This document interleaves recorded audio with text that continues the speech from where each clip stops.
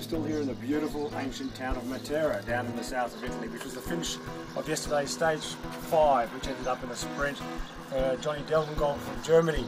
But it ended up rash and uh, some wounded people, both in spirits and in body. One of whom was Matt Goss, who missed out because of the crash, and uh, that was a prime opportunity. But we're here for today, for the sixth stage of this Giro, which will be starting at Mola di Bari, little wave down from here from Matera to Margherita di Savoia, which is about 196 kilometres, a very fat stage, a stage suited for the likes of Mark Cavendish, but the way that Matt Goss and the Orica Green Edge team felt yesterday with their disappointment, they'll certainly be in the fray to give it their best shot. The stage is going to start very short, so just watch the action and see if they can produce the goods.